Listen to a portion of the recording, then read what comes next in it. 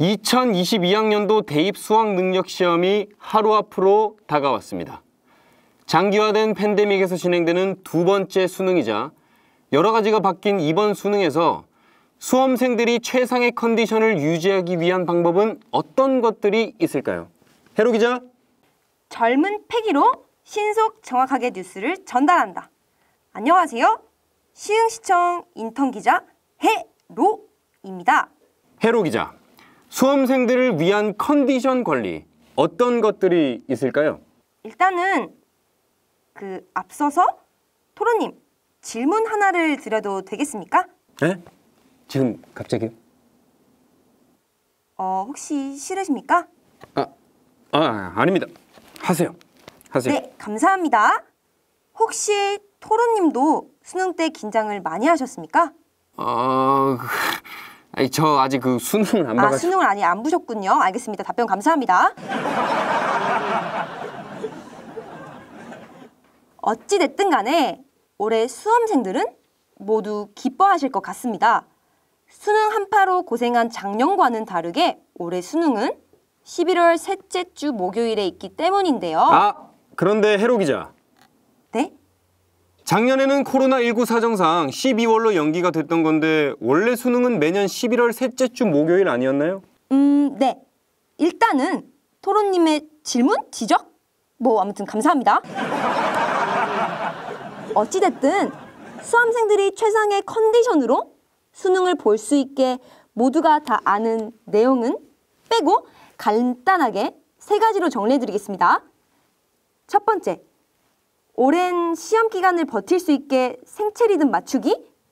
두 번째, 밥은 평소 먹던 음식으로 준비하기.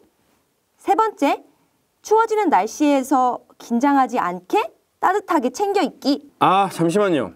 해로 기자. 지금 말씀하신 내용들 중에서 생체 리듬을 맞추기 위해서는 어떤 점을 유의하면 될까요? 음, 수능 날 점심을 먹고 졸릴 수도 있는 거잖아요? 저의 의견을 말씀을 드리자면 그럴 때 졸리면 안 되니까 쪽잠 낮잠 뭐 늦잠?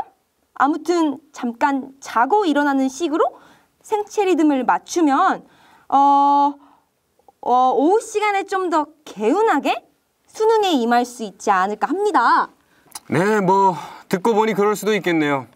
그렇다면 해로 기자, 이 잠이라는 게 조금 자다 깨면 더 피곤한 경우가 있는데 그렇게 되면 오히려 수능을 망치는 요인이 되지 않을까요?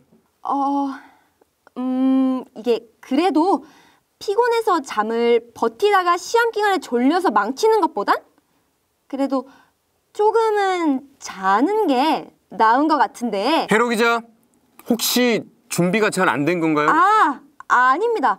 제가 전혀 준비가 안 된 건 아니고요.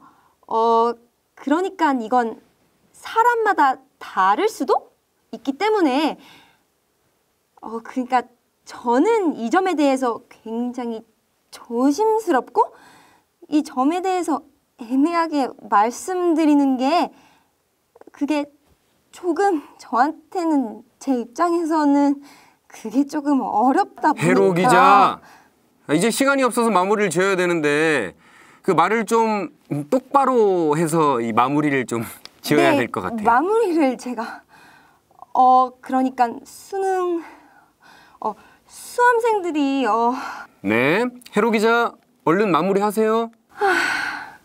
미치겠다. 일단 해로 기자, 혹시 지금 우는 건가요? 저랑 안 맞는 것 같아요. 죄송합니다.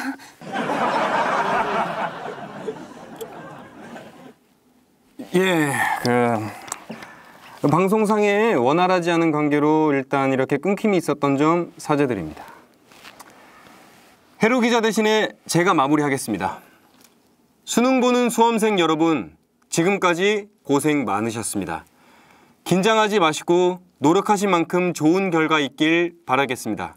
이상 시흥시청 수능 라이브였습니다. 해로 셋!